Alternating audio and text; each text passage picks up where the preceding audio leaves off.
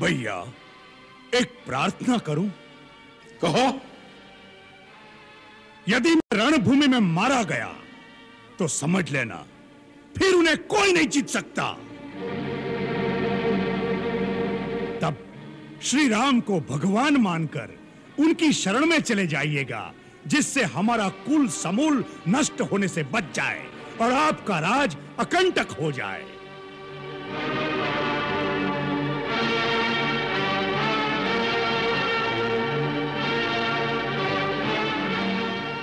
प्राणी जब अपने कुटुंबी जनों के साथ बैठकर ऐश्वर्य भोगता है, तभी वह प्रसन्न और संतुष्ट हो जाता है।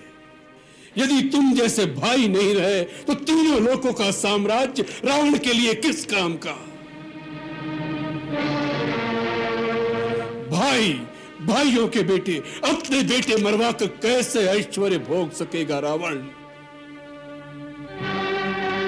जाओ कुंभकर्ण, मृत्यु की बात मत करो।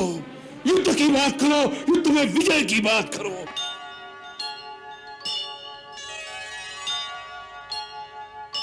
रावण मिट जाएगा, परंतु झुकेगा नहीं। त्रिलोकेश्वर, जिस राम का तुम साथ दे रहे हो, वह राम भी देख लेगा कि रावण के साथ युद्ध करना कितना दुष्कर कार्य है। यदि जीवित रहा तो आज आकर फिर तुम्हारे दर्शन करूँगा।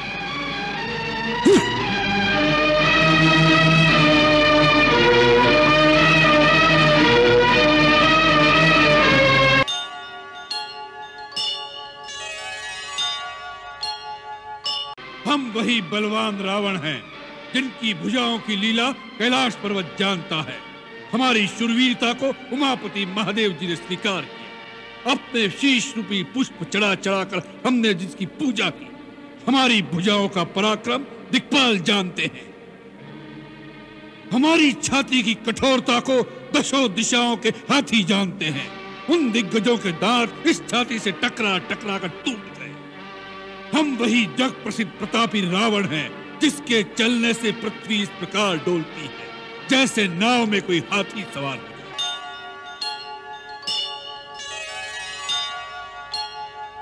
दानवेश्वर, लगता है आप हमारी मान्यता को मिटाने की ठान कर आए हैं। जिस अखिलेश्वर का अवतार मान, आप हमें उसके सन्मुख झुकाने आए हैं। स्वयं उस साक्षात वैकुंठेश्वर, विष्णु के सामने भी हम नहीं झुके। उसके सुदर्शन चक्र का प्रहार हमें तिल भर भी झुका नहीं सका।